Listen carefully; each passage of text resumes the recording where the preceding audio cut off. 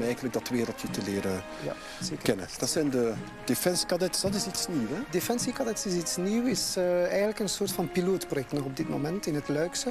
Eh, en dat is eigenlijk eh, een beetje het equivalent van de marine en de luchtkadetten, maar dan meer specifiek gericht op het land- en medische dienstgedeelte.